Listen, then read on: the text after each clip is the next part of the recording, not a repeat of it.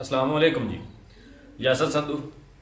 ਹਾਂਜੀ, ਅੱਜ ਵੀਡੀਓ ਲਿਆਂਦੀ ਫਿਰ ਇੱਕ ਇੰਡੀਅਨ ਟਰੈਕਟਰ ਤੇ ਜਸ ਗਰੇਵਾਲ ਚੈਨਲ ਦੀ ਵੀਡੀਓ ਹੈ।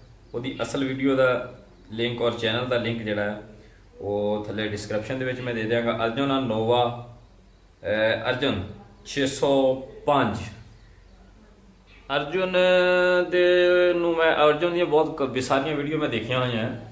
ਉਹਦੀ ਵਜ੍ਹਾ ਇਹ ਹੈ ਕਿ ਆਪਾਂ ਟਰਾਲੀ ਟਰੂਲੀ ਦੇ ਆਪਾਂ ਵੀ ਜ਼ਰਾ ਸ਼ੌਕੀਨ ਆ ਤੇ ਅਰਜੁਨ ਵੀ ਟਰਾਲੀ ਦੇ ਮਾਮਲੇ 'ਚ ਮੈਂ ਸੁਣਿਆ ਕਿ ਇੰਡੀਆ 'ਚ ਬੜਾ ਮਸ਼ਹੂਰ ਆ।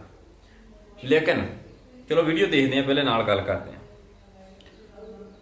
ਗੇਵਾਲ ਮੂਵੀਜ਼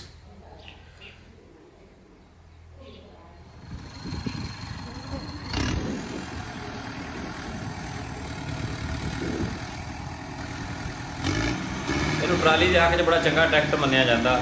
ਲੇਕਿਨ ਮੈਂ ਇਹਦੇ ਵਿੱਚ ਦੋ ਚੀਜ਼ਾਂ ਨੋਟ ਕੀਤੀਆਂ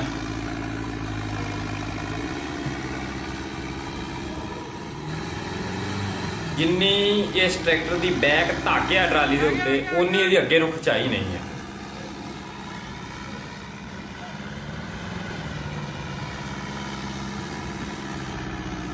ਇਸ ਇਸ ਵੀਡੀਓ ਦੇ ਵਿੱਚ ਨਹੀਂ, ਤੁਸੀਂ ਓਵਰਆਲ ਵੀ ਨੋਟ ਕਰ ਲੈਣਾ ਇਸ ਟਰੈਕਟਰ ਤੇ। ਮੈਂ ਬਹੁਤ ਸਾਰੀਆਂ ਵੀਡੀਓ ਦੇਖੀਆਂ, ਇਹਦੀ ਅੱਗੇ ਨੂੰ ਓਨੀ ਖਿਚਾਈ ਨਹੀਂ ਹੈ ਟਰੈਕਟਰ ਟਰਾਲੀ ਦੀ। ਜਿੰਨੀ ਇਹਦੀ ਬੈਕ ਧੱਕ ਆ। ਬੈਕ ਧੱਕ ਕਈਆਂ ਟਰੈਕਟਰਾਂ ਦੀ ਬਹੁਤ ਅੱਛੀ ਹੁੰਦੀ ਹੈ ਇਸ ਟਰੈਕਟਰ ਦਾ ਜ਼ਰੂਰ ਪਿਛਲਾ ਹਿੱਸਾ ਜਿਹੜਾ ਹੈ ਉਹਦੀ ਚੌੜਾਈ ਜ਼ਿਆਦਾ ਹੋਣੀ।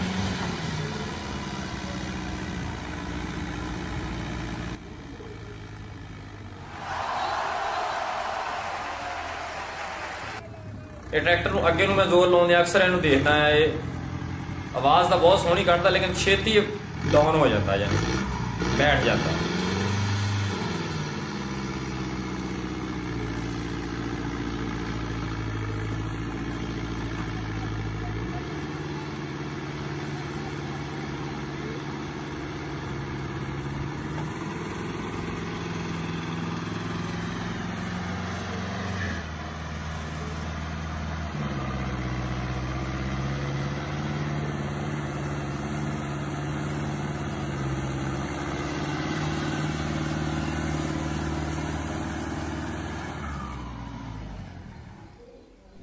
ਬਾਕੀ ਮਿੱਟੀ ਚ ਤਾਂ ਬਾਈ ਫਿਰ ਔਖਾ ਹੀ ਹੁੰਦਾ ਹੈ।